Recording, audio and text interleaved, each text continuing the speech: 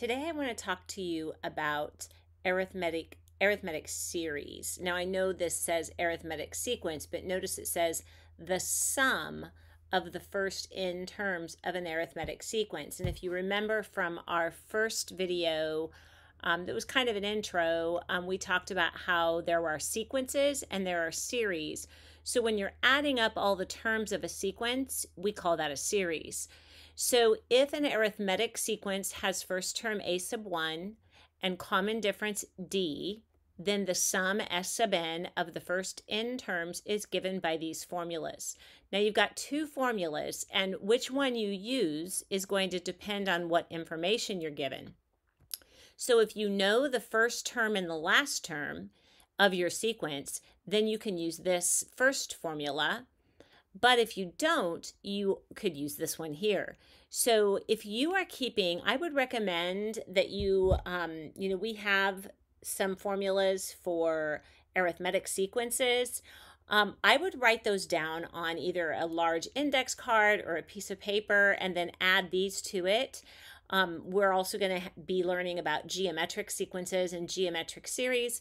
So it's kind of nice to have all the formulas in one place. It doesn't take a lot of room to do that, but that way you're not flipping through all your notes to try and find the appropriate formulas.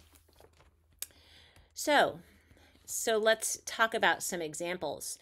I'm um, sorry about all these extra little green things um, from the document that you know was thinking that it was the wrong grammar or something and somehow got copied into that. So for this first one, we want to find um, this is the sequence 48, 44, 40, 36, and then this is a dot, dot, dot. And we want to evaluate S sub 21. So what do we know? Um, first of all, remember we've got those two formulas on that previous page, so you want to keep those in mind. So I know that A sub 1 is 48. And I know D because notice it's going down. It's it's decreasing. I subtract 4, I subtract 4. Um, so we get D is negative 4. Um, we also know that N is 21 because I'm told this is S sub 21. So that tells me N is 21. But I don't know the last term. I don't know A sub N. So since I don't know a sub n, I'm going to write down this formula. So I'm going to use s sub n equals n over 2, 2 times a sub 1 plus n minus 1 times d. Okay, so I'm identifying which formula I want to use. So then to find s sub 21, I'm going to take 21 halves 2 times 48, because that's a sub 1, plus, this is n minus 1, so 21 minus 1 is 20 times negative 4. And so notice I have all everything I need there. So then I get 21 halves. If you do the math here, you will get 16. And we get then 168. Okay, so that would be our answer. So I'm going to do this pro same problem. I want to just kind of approach it from a little different format. Um, let's suppose um, without this formula. So from our arithmetic sequence, we know that a sub n equals a sub 1 plus n minus 1 times d. So that's our formula for a sequence. So then if I want to figure this out, so I have a sub n, a sub 1 we said was 48. I'm going to leave this an n, n minus 1 times negative 4. So then I'm going to distribute the negative 4, so we get 48 minus 4n plus 4. So then if I simplify that, I get a sub n equals negative 4n plus 52. So this is my general rule for this particular particular sequence, okay? So then if you think back to with the summation notation, if I go from n equal 1 to 21, and I just plug in this negative 4n plus 52, you might want to stop and try that on your calculator using the summation notation. You will get 168. So this method would work as well without using this formula. Okay, so part B, use a formula for S sub n to evaluate the sum of the first 200 positive integers. So let's think about what that looks like. Um, positive integers, so we've got 1 plus, the next one would be 2, plus 3, plus 4, plus dot, dot, dot, plus 198, plus 199, plus 200. So we can look at this and we can use the formula easy enough. We know a sub 1 is 1. We know a sub n is 200. And we know n is 200. So we can go right to that formula where we have S sub n equals n over 2 of a sub 1 plus a sub n. So we have 100 times 1 plus 200. So we get 20,100. So that's using the formula. But if you think about this, um, here's my list. Notice that if I take the 1 plus 200, I get 201. If I take the 2 plus 199, I get 201. If I take 3 plus 198, I get 201. I could continue to do that. I'm going to have 100 pairs of 201. So sometimes you can figure out um, some answers without even using the formulas if you just kind of think about it. All right, this next one says the sum of the first 15 terms of an arithmetic sequence. You want to pay attention to this because this tells you what kind of sequence it is so you know what kind of formula to use. Um, so is 345. So with symbols, that would be S sub 15 is 345. So that means N is 15 because I can kind of look at this subscript right here to, to figure out what my N value is. Now, they tell me A sub 15, so that's like my last term. That's my A sub n term is 65, but I don't know A sub 1. So if I use this formula, S sub n equals n over 2 times A sub 1 plus A sub n. So n is 15, so I'm going to have 345 equals 15 halves don't know a sub 1. But a sub n is my a sub 15, so that's 65. So I have to figure out a way to find out what a sub 1 is.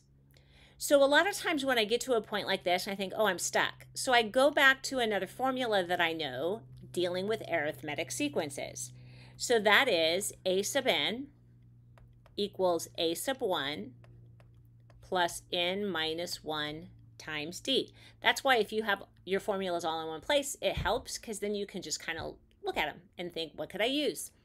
So from here, I'm going to say um, a sub n, we know is 65. I, um, a sub 1, oh, actually, could we go back? Oh, wait, I, I don't need to do that. So we're going to come back to that to find D. So hold that thought. But actually right here, you're probably wondering, uh, there's only one unknown. You can find that. Yes, we can. So if you work this out, um, and you can, I can multiply both sides by 2 fifteenths and then subtract 65. Pretty easily enough, you should be able to say that a sub 1 is negative 19. Sorry about that. But now I have to find D. So I know A sub 1 is negative 19. I've got to find D. So that's what I'm going to do over here. So I have my negative 19. n is 15, so this is going to be 14 times d. So now we can add 19 and divide by 14. If you do that and work that out, you get d equals 6. So we were asked to find these two values.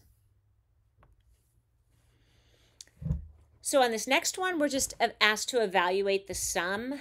I am okay. Now, let me just talk about this just to make sure you understand what's happening. Remember, we're, um, by the way, these are both arithmetic. Um, you should recognize arithmetic sequences the the rules for them look like linear equations. So that's how you can kind of recognize those. Um, so these are arithmetic. So that means if we um, now we have different ways we can do this. One of them is by plugging it in. So we would have 5 times 5 minus 10 plus 5 times 6 minus 10. And you would keep doing that until you got to the last one, which would be 5 times 12 minus 10. But you know, that seems a, like a lot.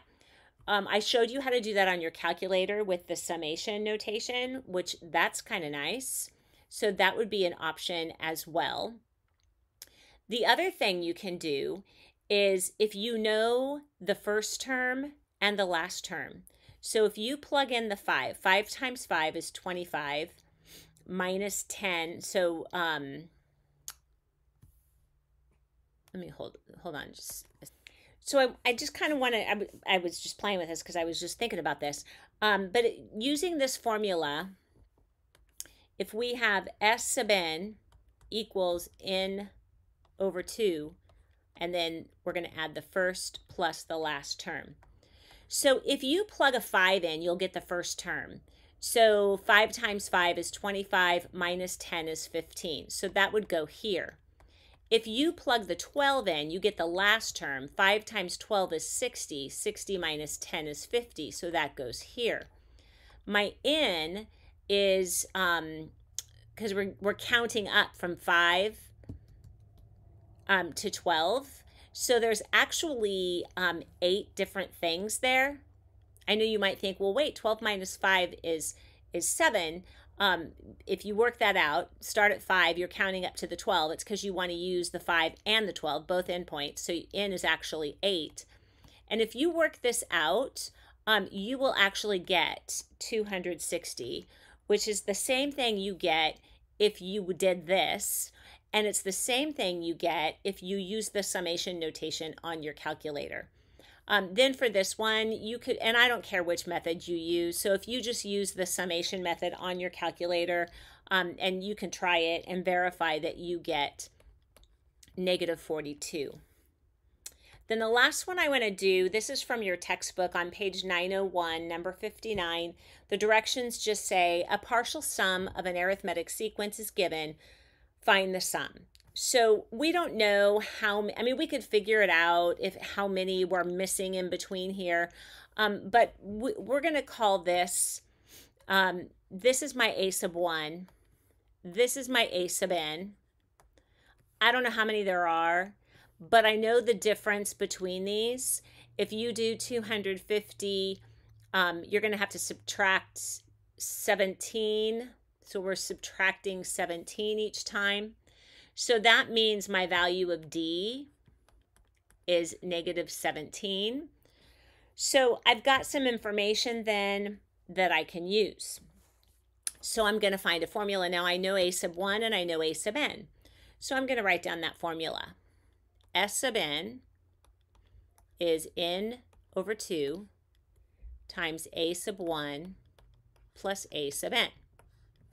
Now, the problem is, is we don't know n. So I'm going to find it because I know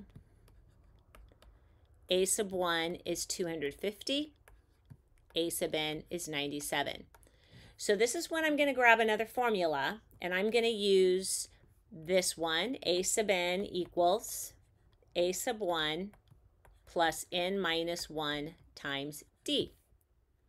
So I know a sub n is 97, so I can fill that in. I know A sub 1 is 250. Okay, remember that these are um, the terms of an arithmetic sequence that we're adding together, which gives us the series. So that's why I can say this is a sub 1. And I don't know n, but I know d is negative 17. So if you, um, we can do the math here. So here's the math I did. I just did 97 minus 250 took that divided by negative 17, took that and added 1, and then you get your value for n. So n, n equals 10. Now I'm going to come back over here and say s sub n, or s sub 10 at this point, I guess I could call that, is 10 halves 250 plus 97 and I'd like that calculator back again.